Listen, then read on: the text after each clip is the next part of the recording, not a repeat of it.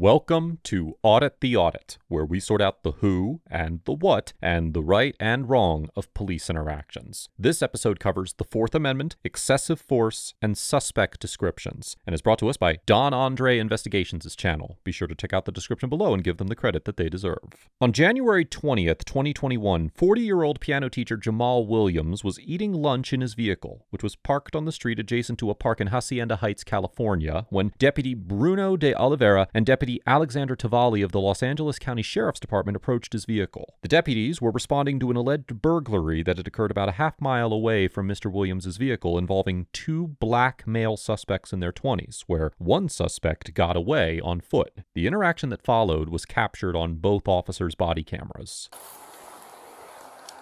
Hands on the wheel. What's going on? You live around here? Hey, Hey, hey, don't- hey, hey, don't, don't touch, don't touch, don't Relax, touch. bro. Relax. Hey, Hey. you match the description of somebody, okay, that just committed a burglary in the area. Okay, you're on camera, so Can- don't can- worry. Step out of the Is, car. is your, is your, is your, is your body cam on? It's on. Yes, it's on. What, what, what's, Step on out, dude. We'll explain everything to you, okay? Just step out of the car. Step no, out no, of the no, car. I'm not, I'm not stepping on You're, the car. you're being detained for a burglary investigation, okay, sir? So step no, no, out. no, no, no, no, no. Do you live in the area? I'm not answering any questions. I want my lawyer. Okay. Okay, Step out of the yeah, car. You're step being out, detained right now. All right. Step out of the car. Sir, Step on out, dude. You're, Sir. you're on camera, dude. So don't do anything dumb. Okay. When the officers first approach Mr. Williams, Deputy de Oliveira immediately opens the driver's side door and orders Mr. Williams to step out of the vehicle. A few seconds later, after Mr. Williams responds that he will not exit the vehicle, Deputy Tavali opens his passenger side door and leans into the vehicle multiple times. We will examine whether the deputies had the reasonable suspicion necessary to detain Mr. Williams later in this episode. But, assuming for the sake of argument that they did, it is likely that a court would determine that the officers were within their authority to order Mr. Williams to exit his vehicle. As we have discussed before here on ATA, the Supreme Court held in the 1977 case of Pennsylvania versus Mims that an officer, quote, may, as a matter of course, order the driver of a lawfully stopped car to exit his vehicle. Now, although the officers did not stop Mr. Williams's car, as he was already sitting in his parked vehicle, the Second Appellate District of the Court of Appeal of California held in the 2013 case of People versus McLaughlin that when officers entertained reasonable suspicion that an individual sitting in a legally parked vehicle was involved in a burglary in progress a half block away, they were justified in removing her from her car, and it is likely that a court would reach the same conclusion here. However, it is also probable that a court would find that the officers violated the Fourth Amendment by opening Mr. Williams's car door and leaning into his vehicle. The Supreme Court held in the 1986 case of New York versus Class that opening a door and entering the interior space of a vehicle constitutes a Fourth Amendment search, and as such is subject to the same reasonableness standard applied to other police searches and seizures. In the 2020 case of United States versus Ngumezi, the Ninth Circuit Court of Appeals, which has jurisdiction over California, found that an officer's opening of a car door and leaning into the car constituted an unlawful search because while the officer had reasonable suspicion sufficient to justify a traffic stop, he lacked, quote, probable cause or any other particularized justification, such as a reasonable belief that the driver poses a danger, to open the door to the vehicle and lean inside. Although the court recognized that an officer may open a vehicle door when there are, quote, particularized reasons for the officers to fear danger, such as when officers were responding to a reported shooting, the passengers in the car made furtive movements as the officers approached, and the car's windows were so darkly tinted that they prevented the officers from having a clear view of the car's occupants, it concluded that the officer in the Ngumezi case did not have any reason to fear that the driver might be dangerous. Likewise, in this situation, aside from the fact that they were investigating a burglary, Deputy de Oliveira had no reason to believe that Mr. Williams was dangerous when he opened his driver's side door, and it seems unlikely that a court would find that his immediate passive resistance to the order to exit the vehicle would give Deputy Tavali a sufficient justification to open the passenger door and lean in when he did so. Step Hold out, on. Uh, dude. I'm, I'm gonna get this Okay. on camera. All Go right. ahead. You can record. Step out of the car, please. He's being aggressive. Hey, you, you, Hey, stop you- you- resisting, you- dude. Stop resisting. I'm just- Why, why, why are you? Come Why, no, man. Okay. Get out of the car. Get out of the car. Sir, Supervisor. I want to talk to your supervisor. Call your supervisor. Call your supervisor.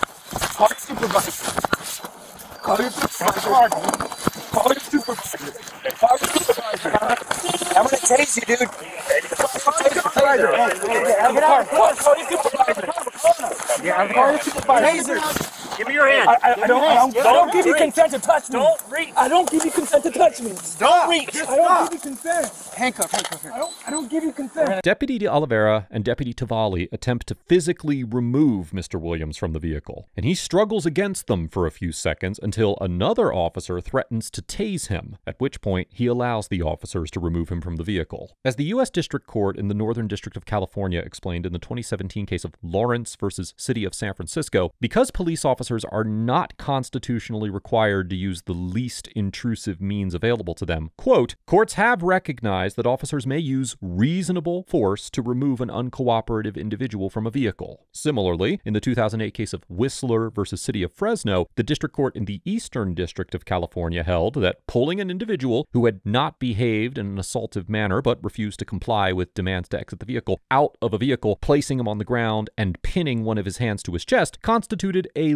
low amount of force that was reasonable under the Fourth Amendment. However, in this situation, Mr. Williams appeared to be in the process of complying with the order to exit the vehicle, as he asked the deputies to hold on so he could film the interaction with his cell phone, when the deputies immediately started pulling at him from both directions and claiming that he was being, quote, aggressive and, quote, resisting, despite the fact that they had informed him he was permitted to film. Now, given this factual distinction, even assuming that the officers had the reasonable suspicion necessary to order Mr. Williams to exit the vehicle in the first place, it is possible that a court could determine that the officer's initial use of force against Mr. Williams was unreasonable and constitutionally excessive. Likewise, if the officer who threatened to tase Mr. Williams had actually deployed his taser in response to Mr. Williams's attempts to remain in the vehicle, the use of the taser could also constitute excessive force. In the 2010 case of Bryan versus McPherson, the Ninth Circuit Court of Appeals held that an officer used excessive force when he tased an individual who exited his vehicle during a traffic stop after the officer had ordered him to stay in his vehicle. In reaching this conclusion, the court explained that although there is a distinction between passive resistance, such as remaining seated, refusing to move, and refusing to bear weight despite police orders to the contrary, and active resistance, now quoting, resistance should not be understood as a binary state, with resistance being either completely passive or active. Rather, it runs the gamut from the purely passive protester who simply refuses to stand to the individual who is physically assaulting the officer. The court also argued that, quote, even purely passive resistance can support the use of some force, but the level of force an individual's resistance will support is dependent on the factual circumstances underlying that resistance, and ultimately concluded that the behavior of the individual who was tased was more on the passive end of the spectrum, and therefore provided little support for a use of significant force, such as a taser. Considering this case law, it is entirely possible that a court could conclude that Mr. Williams is mostly passive resistance would not justify the use of a taser under these circumstances. Be on Paso Verde Hey, and record that! Santa Bianca. Hey, stop. Cuffs are on. Cuffs are on. Readjust here a little bit, all right? Readjust. Slow down a little bit. Hey, we got a, we got a supervisor coming, man. Yeah, copy. It is code four. Michigan's on scene. Just request. Hey, you got anything on you? Just I get don't ready. answer questions. Clear. Actually, yes. Okay. Clear all Hey, can you record this? It's recorded. It's all, It's all everybody's recorded. got recording. We all have cameras.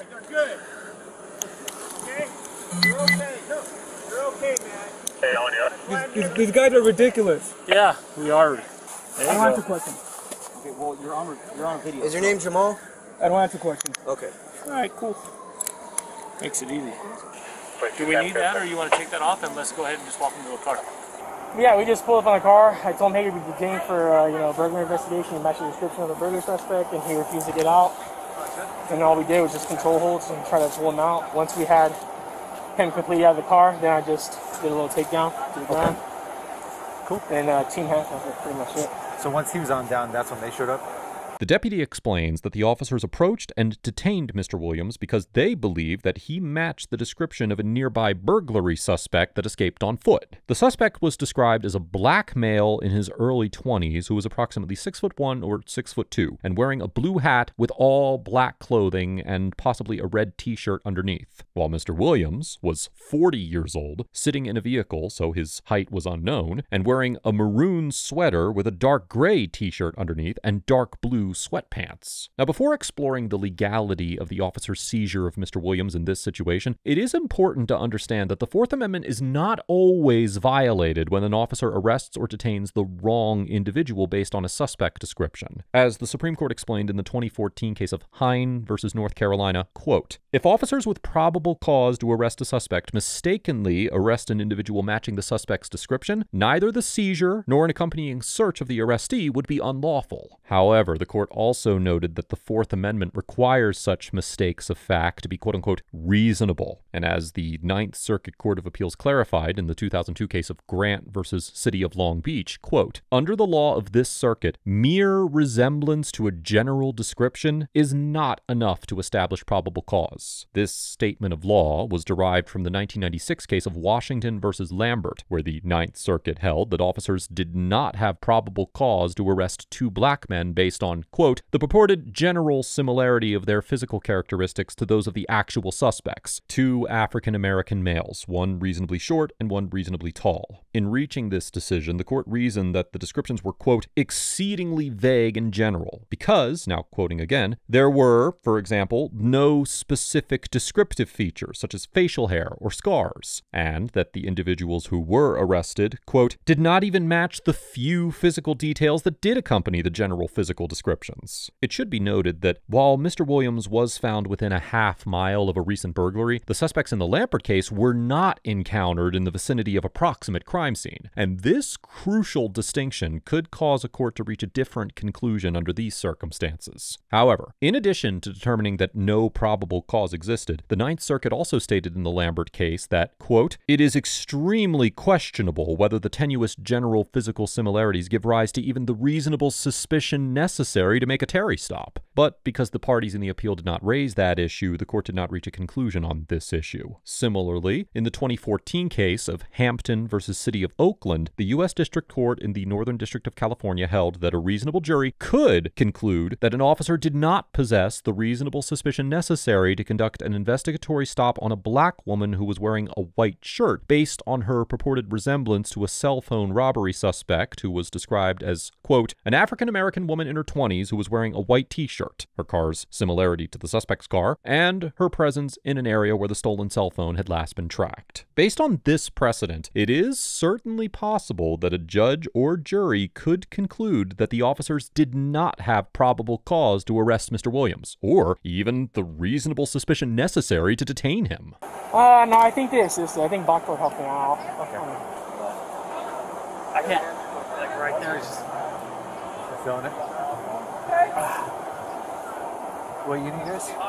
Hey, if we take these off, are you gonna cause a problem? Are you gonna kick any windows out, anything like that? I don't answer questions. You can leave them on then, that's fine. I don't give you consent to go in my car and check my car. You're violating my Fourth Amendment constitutional right. We're gonna sink him in the car. Has it been clear? Yeah. So I think we should we can move forward and try at least get him in the back seat. Yeah, that's fine. Why are you guys kidnapping me? I'll explain everything if you just tell me your name so we can talk. Tell me right now. Find a car and put it in. Okay. We'll talk when he gets here. It's not your suspect, but are you saying? Well, if he's not the 459 suspect, then I don't believe so. Did you finish the CJIS training? we gotta take him release for 148. He's not going to jail. CJIS training. Yeah, no, I know. I'm gonna research the vehicle and see if the mask that the suspect was seen on picture that was taken by the informant is inside the car. After the deputies concluded that Mr. Williams was not the burglary suspect they were looking for, they informed him that they were still taking him to jail, and he was charged with resisting an executive officer in violation of Section 69 of the California Penal Code, which prohibits knowingly resisting, by the use of force or violence, an officer in the performance of his or her duties. Now, although Mr. Williams's physical resistance to the deputies' attempts to remove him from the vehicle was likely sufficient to support a conviction under this statute, as indicated by the jury instructions for this this offense, California law also requires that the officer be lawfully performing his or her duties at the time of the resistance, and an individual cannot be convicted of violating this statute if the officer was unlawfully detaining them or using unreasonable or excessive force against them. The resisting charge against Mr. Williams was eventually dismissed, although it took nearly a year for the charge to be dropped. After the encounter, Mr. Williams filed a complaint with the Los Angeles County Sheriff's Department, and Lieutenant Tri Huang investigated the incident and concluded that Deputy De Oliveira and Deputy Tavali did nothing wrong. On January 17, 2022, Mr. Williams filed a lawsuit against the officers involved, the Los Angeles County Sheriff's Department, and Los Angeles County. And on April 15, 2022, he voluntarily dismissed the case after reaching a settlement for an undisclosed amount. Overall, Deputy De Oliveira, Deputy Tavali, and the Los Angeles County Sheriff's Department get an F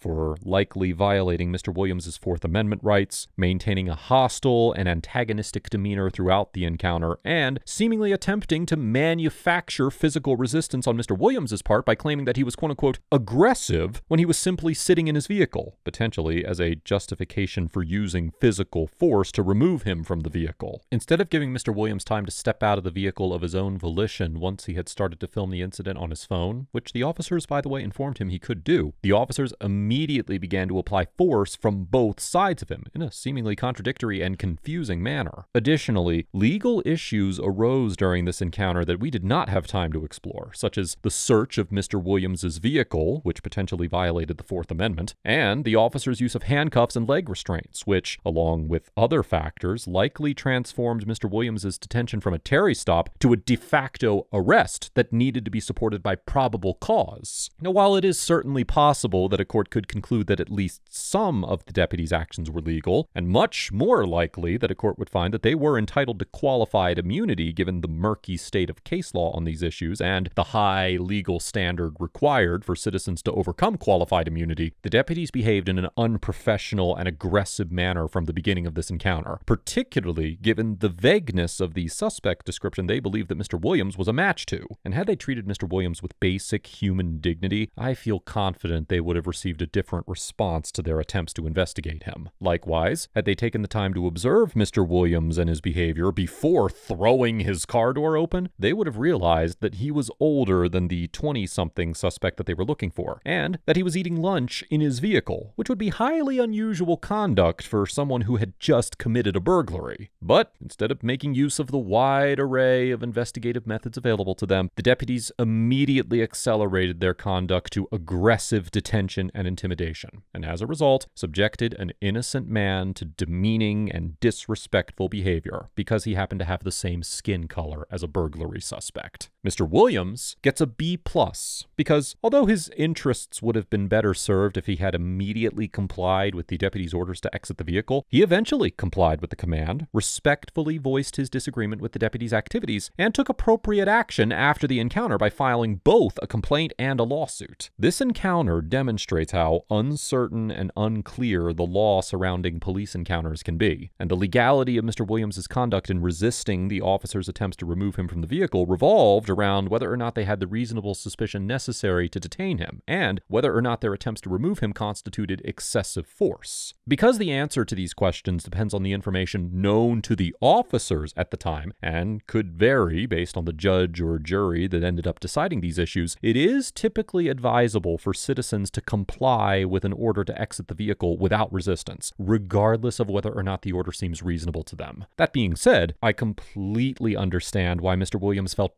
justified in his refusal to exit the vehicle, particularly given the deputy's aggressive demeanor and their potentially excessive use of force. And I commend him for his commitment to his constitutional rights and his willingness to pursue legal action following this incident. Let us know if there is an interaction or legal topic that you would like us to discuss in the comments below. Thank you for watching, and don't forget to check out my second channel for even more police interaction content.